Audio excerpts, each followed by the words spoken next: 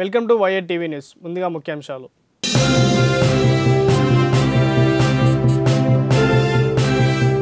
గుజరాత్లో ఎనభై కోట్ల ప్రాజెక్టును ప్రారంభించిన ప్రధాని.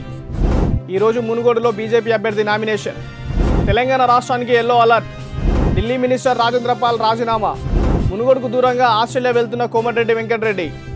దొంగ నోట్ల ముఠ అరెస్ట్ అజ్ఞాతంలోకి చెండూరు జెడ్పీటీసీ.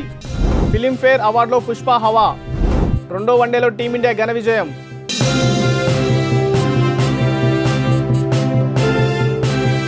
దేశంలో ఇరవై నాలుగు గంటల సోలార్ కరెంటు వాడుతున్న తొలి గ్రామంగా గుజరాత్లోని మెదేరా నిలిచిందని ప్రధాని మోడీ ప్రకటించారు.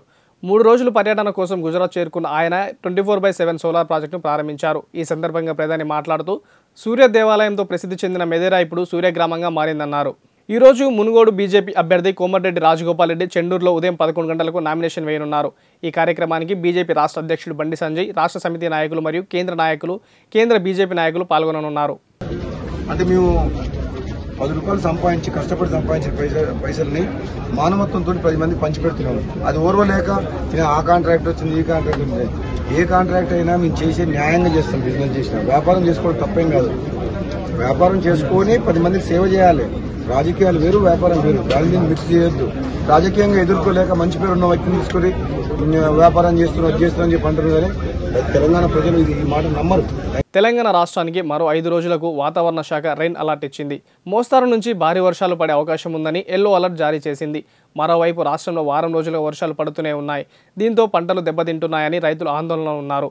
జయశంకర్ భూపాలపల్లి జిల్లా వ్యాప్తంగా భారీ వర్షాలు పడ్డాయి. ఇటీవల మత మార్పిడి కార్యక్రమంలో పాల్గొన్న ఆమ్ ఆద్మీ పార్టీ ఢిల్లీ మంత్రి రాజేంద్రపాల్ గౌతమ్ తన పదవికి రాజీనామా చేశారు. మత మార్పిడి కార్యక్రమంలో పాల్గొన్న ఆయన ఓ వర్గం మనోభావాలను కించపరచల వ్యాఖ్యలు చేసినట్టు ఆరోపిస్తూ బీజేపీ వీహెచ్పీలు మంత్రిపై విరుచుకుపడ్డాయి. మత మార్పిడి కార్యక్రమంలో ఏకంగా ఓ మంత్రి పాల్గొనడం సిగ్గుచేయడని విమర్శించారు. అంతేకాదు ఆయనను మంత్రి పదవి నుంచి తొలగించాలని డిమాండ్ చేశారు. విమర్శల సుడిగుండంలో చిక్కుకున్న రాజేంద్రపాల్ గౌతమ్ నిన్న పదవికి రాజీనామా చేశారు. మునుగోడు ఉప ఎన్నిక ప్రచారానికి దూరంగా కోమటిరెడ్డి వెంకటరెడ్డి ఉండబోతున్నారు. ఈ నెల పదిహేను కుటుంబంతో కలిసి ఆస్ట్రేలియా వెళ్తున్నారు. కోమటిరెడ్డి వెంకటరెడ్డి మునుగోడు ఉప ఎన్నిక పోలింగ్ తర్వాతే తిరిగి హైదరాబాద్కు వచ్చే అవకాశం ఉందంటూ కుటుంబ సభ్యులు సన్నిహితులు తెలియజేశారు. వేంజూరులో దొంగ నోట్ల పేరుతో ప్రజలు మోసగిస్తున్న ముఠాలో ఇద్దరు వ్యక్తులను శనివారం రాత్రి రెండు గంటల ముప్పై నిమిషాలకు పోలీసులు పట్టుకున్నారు. ఎస్ఐ సురేష్ తెలిపిన వివరాల ప్రకారం వేంసూరుకి చెందిన తనమల రాజశేఖర్ చెంచుపల్లికి చెందిన సోర్ల ప్రసాదం కారులో ఏపీ వైపు వెళ్తుండగా పోలీసులు తనిఖీలు చేశారు. వారి నుంచి రద్దైన ఐదు వందల నోట్లు రెండు కట్టలు తెల్ల కాగితాలు ఐదు కట్టలు కొన్ని రసాయనాలు కారుతో సహా స్వాధీనం చేసుకున్నారు. తెల్ల కాగితాలు రసాయనంలో ముంచి తీస్తే అసలు నోటు తయారవుతుందని చెప్పి అమాయకులను వీరు మోసం చేస్తున్నారని నిందితులపై కేసు నమోదు చేసినట్లు ఎస్ఐ సురేష్ తెలిపారు. మునుగోడు ఉప ఎన్నిక దగ్గర పడుతున్న కొద్దీ స్థానికంగా రాజకీయం వేడెక్కుతుంది.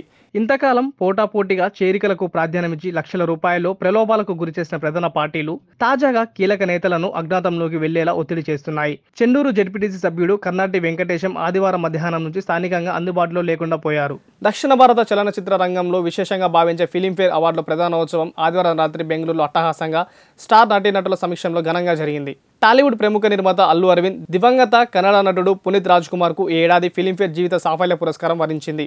ఈసారి ఫిలింఫేర్లో అల్లు అర్జున్ కథనాయకుడిగా నటించిన టాలీవుడ్ చిత్రం పుష్ప హవా నడిచింది. మొత్తం ఏడు విభాగాల్లో ఆ చిత్రం సత్తా చాటింది. తమిళ్ళో సూర్య కథనాయకుడిగా నటించిన సురైరా పోట్రు ఏడు అవార్డులను దక్కించుకుంది. సౌత్ ఆఫ్రికాతో మూడు వన్డేల సిరీస్లో భాగంగా రాంచీలో రెండో వన్డే జరిగింది. ఈ మ్యాచ్లో తొలుత టాస్ గెలిచిన సఫారీలు బ్యాటింగ్ ఎంచుకున్నారు. ఫస్ట్ బ్యాటింగ్లో రెండు వందల డెబ్బై ఎనిమిది పరుగులు చేసిన సౌత్ ఆఫ్రికా టీమిండియాకు రెండు వందల డెబ్బై తొమ్మిది పరుగులు టార్గెట్ పెట్టింది. అయితే తక్కువ స్కోర్తో ఓపెనర్లు శిఖర్ ధావన్ పదమూడు శుభ్మన్ గిల్ ఇరవై ఎనిమిది పరుగులకే ఇద్దరు అవుట్ అయ్యారు. ఆ తర్వాత శ్రేయస్ అయ్యర్ ఇషాన్ కిషాన్ తొంభై మూడు పరుగులతో దంచుకొట్టి టీమిండియాను విజయ తీరాలకు చేర్చారు. ఇక శ్రేయస్ అయ్యర్ నూట పదమూడు సంజు ముప్పై పరుగులతో నాటౌట్గా నిలిచారు. ఇక ఐదు ఓవర్లు మిగిలి ఉండగానే ఏడు వికెట్ల తేడాతో టీమిండియా విజయం సాధించింది. ఇవి ఇప్పటివరకు ఉన్న అప్డేట్స్. చూస్తూనే ఉండండి. వైఏ టీవీ న్యూస్